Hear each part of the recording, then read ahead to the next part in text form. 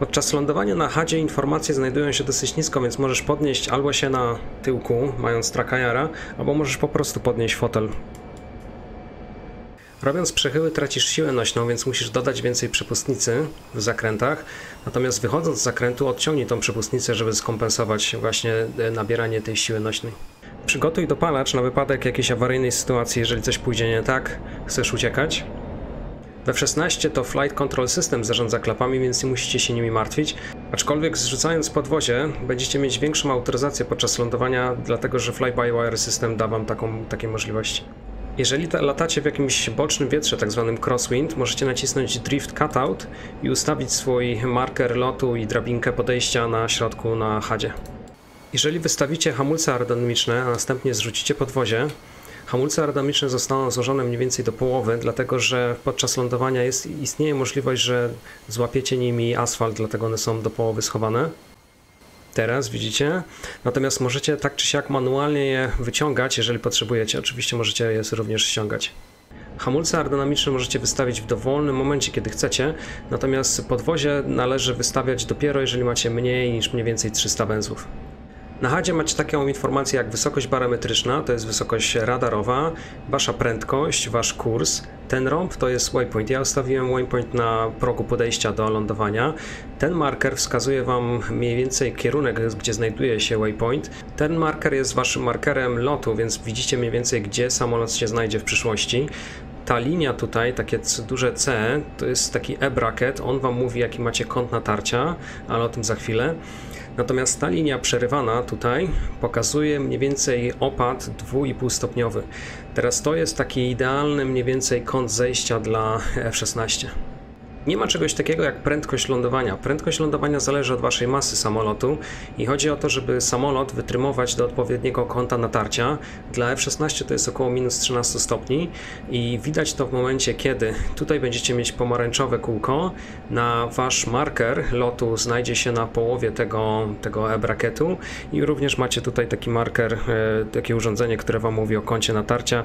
Idealny kąt natarcia to gdzieś około 13 stopni, czyli powiedzmy w tym zielonym zakresie. Żeby przygotować samolot do lądowania, czyli do poprawnego kąta natarcia, zróbcie następujące rzeczy. Odciągnijcie przepustnicę na bieg jałowy, wystawcie hamulce aerodynamiczne, przy mniej niż 300 węzłach zrzućcie podwozie, zrzucam. Samolot również mnie konfiguruje teraz do lądowania. Jestem w trybie nawigacji. Teraz e, system się trochę denerwuje, ponieważ spełniam warunki, które e, musi mi o tym powiedzieć. Teraz zaczynam prowadzić trochę maszynę, e, daję trochę więcej przepustnicy. Teraz włączę Wam control boxa, to jest moja przepustnica, to jest joystick. Teraz e, przepustnicą próbuję utrzymać samolot na horyzoncie, żeby mój marker lotu utrzymywał się na tej linii dużej poziomej, na hadzie, tutaj. Teraz co robię, to odpuszczam e, przepustnicę w dół i wyhamowuję prędkość, a jednocześnie trym ciągnę nos do góry. Jeszcze, jeszcze. To niekoniecznie trzeba robić trymem, można po prostu trzymać joystick do tyłu. Ja zazwyczaj tak robię, ale powiedzmy, że trymowanie samolotu do lądowania będzie dla Was przyjaźniejsze. Ok, jeszcze za dużo. Więcej kąta natarcia, jeszcze trochę. Ok. I teraz tak, na AOA indekserze macie e, tutaj kółeczko, czyli jesteście e, wytrymowani na 13 mniej więcej stopni, zgadza się. Wasz e, marker lotu znajduje się na e-brakecie w połowie, czyli macie teraz idealnie wytrymowany samolot. I teraz co powinniście robić, to wypraktykujcie sobie po prostu najpierw zanim będziecie lądować, praktykujcie jak musicie pracować przypustnicą, żeby utrzymać samolot równo z horyzontem, czyli żeby nie opadać. I nic więcej innego nie róbcie, jak pracujcie cały czas przepustnicą. Przód, tył, przód, tył, żeby mniej więcej utrzymać samolot do lotu. To jest bardzo dobra praktyka do zrozumienia, jak pracować e, silnikiem do lądowania. Joystickiem nie robi się w dół lub do góry, tym się zarządza właśnie przepustnicą. Natomiast co joystickiem robicie? Drążkiem robicie tylko i wyłącznie pochyły lewo i prawo, czyli kierujecie maszyną, żeby ją ustawić do pasa do lądowania. Czyli podsumowując, przepustnica góra-dół, samolot, joystick tylko lewo-prawo, po to, żeby ustawić maszynę w dobrym kierunku. Teraz wybiorę ze swojej misji slot do lądowania do Ziemi, kliknę OK. Jestem w powietrzu, mam 330 węzłów. Pierwsze co muszę zrobić to wystawić hamulce aerodynamiczne, żeby zrzucić prędkość do mniej więcej 300 węzłów, poniżej 300 węzłów. Mam mniej niż 300 węzłów, mogę wystawić podwozie, podwozie w dół. Mój marker podlatuje do góry, dlatego że system zrzucił również klapy, więc mam większą siłę nośną.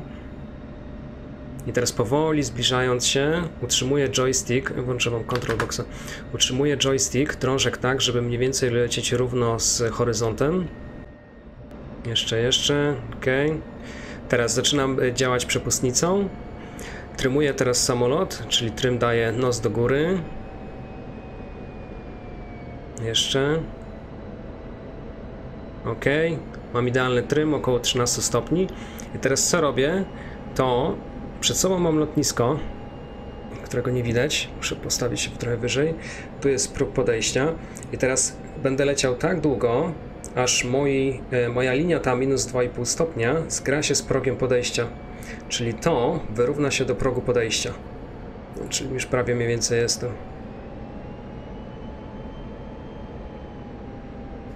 Dobra, ustawię marker lotu na horyzont, czyli nie będę tracił wysokości.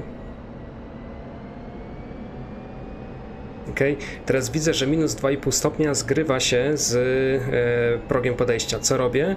Odciągam przepustnicę trochę do tyłu i wyrównuję swój marker lotu do linii tej minus 2,5 stopnia i schodzę z tą linią. Teraz pracuję tak przepustnicą, żeby ustawić marker lotu właśnie do tego podejścia minus 2,5 stopnia, mniej więcej minus 2,5, minus 3. Te minus 2 minus 3 to jest mniej więcej zawsze też podejście na ILS-ie, więc no jest to jedna to, to jest powiedzmy ta sama wartość. Teraz widzę również tutaj swój marker, który e, punkt nawigacyjny, który zrobiłem, to jest waypoint pierwszy, mam do niego 5 mil, on jest na progu podejścia na początku, więc w tym momencie ustawiając marker lotu, linię tą e, przerywaną oraz waypoint w jednej linii, w jednym punkcie, będę wiedział, że idealnie uderzę w próg podejścia.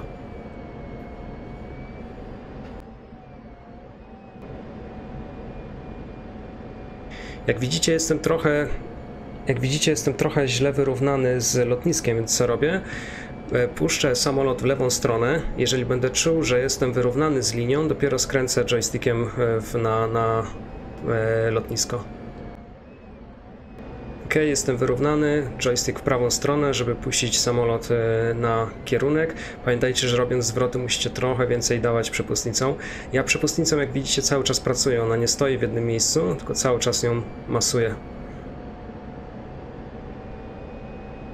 I teraz zbliżając się do lotniska ustawiam, tak jak mówię, tą linię minus 2,5 stopnia na progu podejścia, marker lotu na próg podejścia. Ten waypoint ja mogę stąd wyrzucić, przestawię go na jakiś drugi i wtedy macie powiedzmy, że czytelniejszy widok, ale z daleka lepiej mieć ten waypoint ustawiony, przynajmniej sobie tak robię, bo jest przynajmniej wiadomo, gdzie ustawić marker do podejścia.